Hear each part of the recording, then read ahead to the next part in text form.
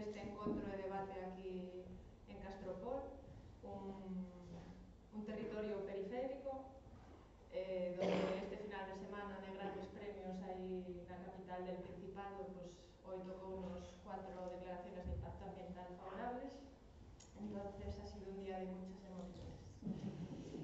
Y, y bueno, eu falo en representación da plataforma veciñal Xente dos Coseo, e creo que na mesa son a que representa esa parte de, de, da xente dos pueblos que de repente un día nos damos cuenta de que nos quieren rodear de grandes gigantes e venirnos a robar.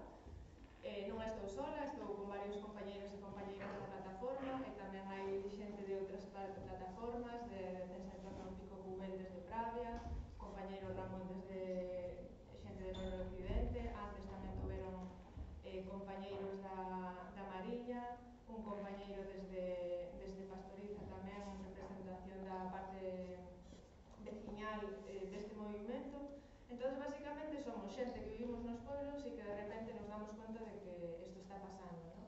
e que empezamos a mobilizarnos para eh, defender o defendernos desta, desta amenaza. E sinopenie fai en todo caso que que nos contaba Olga, imaginade o que, o que poden facer as firmas que nosotros podemos eh, presentar en dous anos e medio, a todas as alegacións, etc. ¿no? Entón, eu eh, vou ser moi breve, pero sí que un dos mensajes que queremos transmitir é eh, que esta transición energética que nos están vendendo, eh, basada nun modelo centralizado, de grandes megaproyectos que al estilo del combustible fósil pues, eh, sigue alimentando el mismo sistema lo que, lo que estamos. ¿no? En vez de ir para un modelo distribuido donde podrías eh, producir de, donde consumes y eh, buscar la soberanía energética de esos territorios, distribuir a energía e tamén o poder. ¿no? Entonces, ao, ao que quero che, a conclusión a que quero chegar é que unha das da, dos,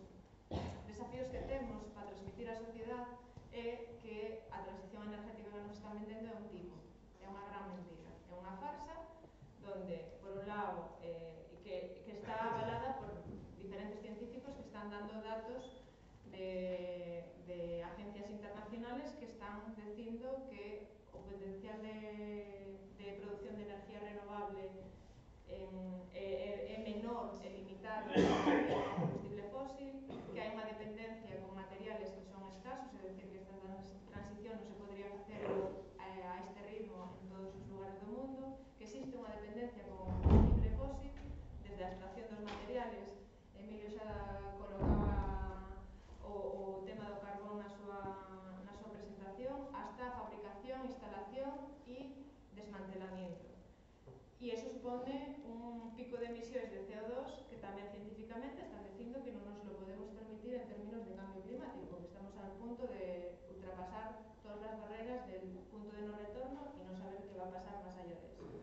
además está centrado na parte eléctrica, que é un 20% do que consumimos a nivel energético, e confía en tecnologías que non están eh, desarrolladas ni testadas como o coche eléctrico e o hidrógeno verde, que é a gran mentira que nos articula e creo que nos eh, que está por detrás deste boom, ¿no? de ser a pila de Europa e de producir todas estas renovables para eh, ese timo que es el, el hidrógeno verde.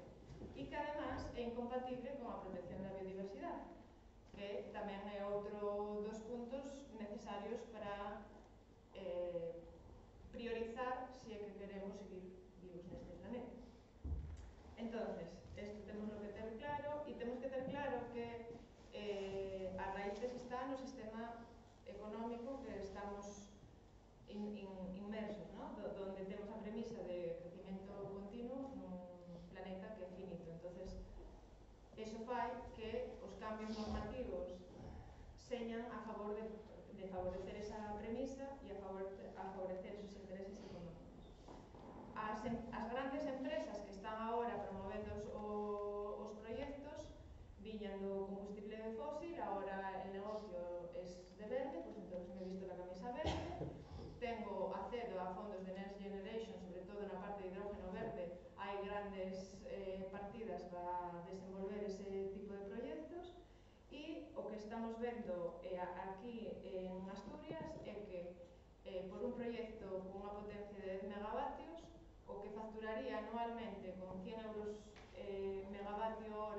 de estimación serían 2,9 millóns de euros ao ano.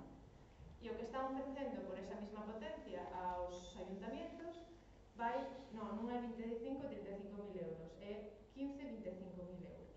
É decir, migajas. E por que todo isto? Porque lamentablemente tenemos un, una, un principio de puertas giratorias.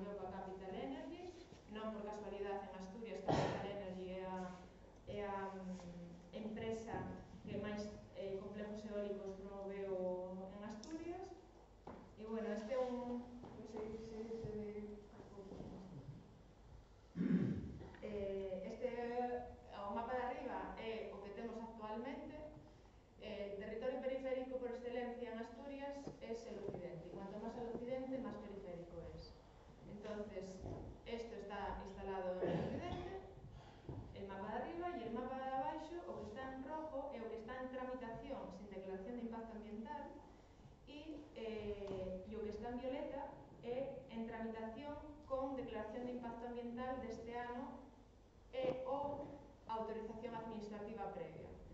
En total, é dicir, hoy saliron cuatro proxectos, xa saliron outros seis nos, no, nos últimos meses este ano, e eh, en potencia equivale ao 30% do que xa hai instalado e generado, eh, eh, generado en Asturias actualmente. Asturias é unha das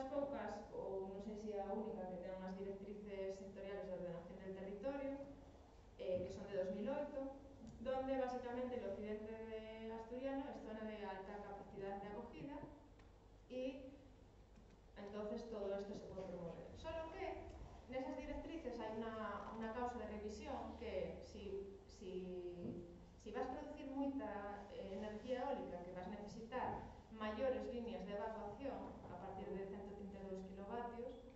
entonces deberías revisar, porque entonces, claro, estás metendolle máis carga al territorio e deberías revisar si aínda ten capacidade de acogida ese territorio ou non. Eso tamén lo están archivando e ni caso. E eh, falando de burbuja a nivel de Asturias, eh, o que hai na planificación estatal de transporte para Asturias, que é unha planificación eh, 5 en 5 anos, son 429 megavatios, e o que hai actualmente en tramitación son 2016 megavatios, é dicir, 5 veces máis. Unha gran eh, burbuja.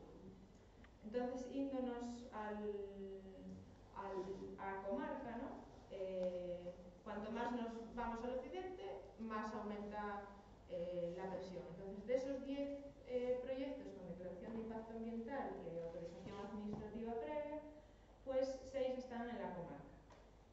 4 eh, eh, con autorización administrativa previa y dos deles que salió hoy a eh, declaración de impacto ambiental. Entonces ese sería el, el, mapa que tenemos. Básicamente toda la comarca, todos los pueblos con una afección de grande a muy grande. Eu vivo nun pueblo que somos 10 personas, afectan tres proyectos vería 15 mamotretos dese estilo en 180 grados. Pero non son eu, senón todos os que estamos aquí nos afecta deso, algúns con eu non estou a menos dun kilómetro, estou a menos de dos kilómetros e medio dun, de un, deste, do, do da Xunqueira, eh, eh, sufro impacto sonoro, pero aquí hai compañeros que eh, con proxectos a menos dun kilómetro, 600, 400, 400 metros, 600, 400 Entonces, básicamente, nos están echando del territorio. Eh, tres cousas. Unha, a eh, administración local ten un poder decisorio nestes casos, ¿no? Pero o que está pasando es que, por un lado, hai falta de visión, falta de voluntad e falta de medios. É o que se, o que se ve. Por outro lado, as promotoras eh, que ven, que fai nas súas filiales con 6.000 euros ou 4.000 euros de, de capital por los que van a responder se hai unha indemnización, pois pues é eso con, con lo que responden, está, e especificamente Capital Energy, está vindo cunha, cunha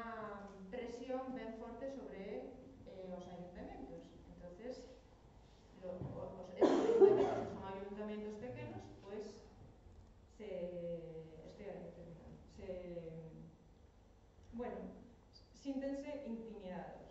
E, de hecho, os cuatro nós que tuvo por parte de, de, ou dos ayuntamientos ou por, por parte da Consejería de Industria eh, tan nos tribunales. O único que saliu sentencia foi o caso de Escorte, de Vilanova, que o ayuntamiento dixo que non.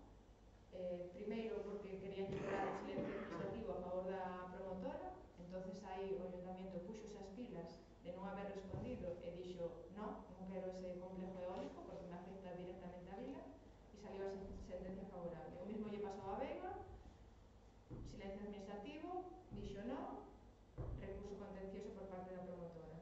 Industria en marzo eh, archivou tres eh, proxectos, dos deles na comarca, e tamén recurso contencioso contra a industria porque non aceptan non como resposta. Ao final, quen paga eso? E, bueno, o que estamos vendo é que despois de dous anos e medio de moita movilización e de moito esfuerzo por parte de moitas personas, pois a vía administrativa se acaba e nuestras eh, o lunes estuvemos en Industria o Gallego e os recursos de reposición que foron presentados ata agora en Folgueiras era unha página del recurso de reposición, unha página primeira con os datos personales eh, puestos en negro, pero non había ni rastro de los 150 como mínimo recursos de reposición que foron registrados en mi Entonces, esta é a transparencia que tenemos. Llegados a este punto, o que nos queda é formalizar a vía judicial e aí agradecer á plataforma de defensa da Cordillera Cantábrica por ofrecernos o, o soporte e a, e a, eh, eh, e, e a oportunidade de poder defendernos na vía judicial como instrumento para poder eh, acceder á justicia gratuita nos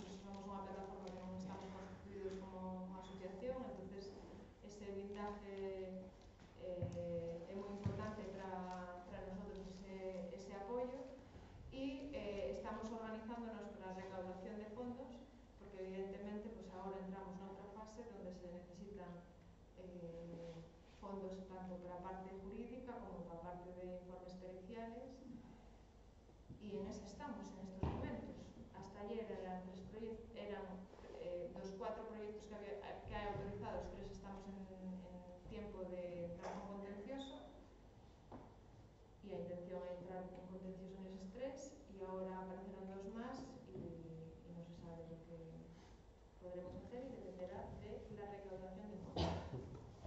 E, último mensaje, último, eh, que pasa? Neste momento, si paramos, esto va adelante, es decir, están haciendo las cosas mal, yendo rápido, entonces o se entra en la vía jurídica o no tienen miedo y venga, van 10, entonces podemos poner los 50 que hay de los 60.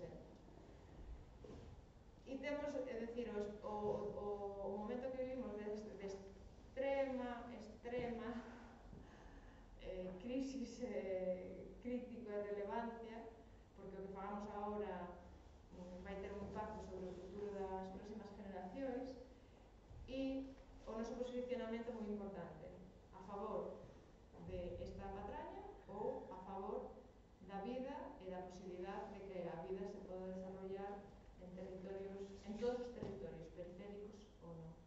Moitas gracias.